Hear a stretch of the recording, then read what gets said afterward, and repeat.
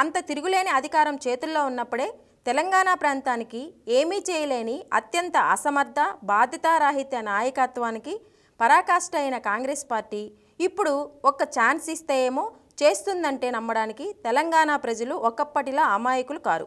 ఒక్క ఛాన్స్ ఇచ్చి చూడడానికి ఇదేం సినిమా కాదు. తెలంగాణ రాష్ట్ర భవిష్యత్తు తెలంగాణ ప్రజల జీవితం. రైతులకు ఇరవై నాలుగు గంటలు కరెంట్ ఎందుకు?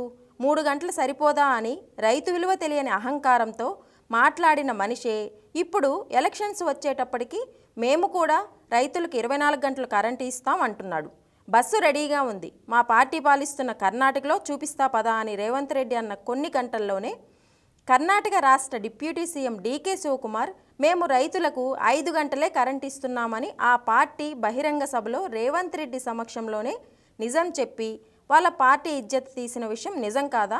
కర్ణాటకలో కాంగ్రెస్కు ఓటేసి మోసపోయామని అక్కడి రైతులే స్వయంగా తెలంగాణ సరిహద్దులోని నారాయణఖేడ్ వికారాబాద్ లాంటి ప్రాంతాల్లోకి వచ్చి తెలంగాణ ప్రజలను అలర్ట్ చేస్తూ నిరసనలు తీయడం అనేది బహుశా ఇటీవలి రాజకీయాల్లో ఒక ప్రత్యేక ఘటన ఒక చారిత్రక విశేషం.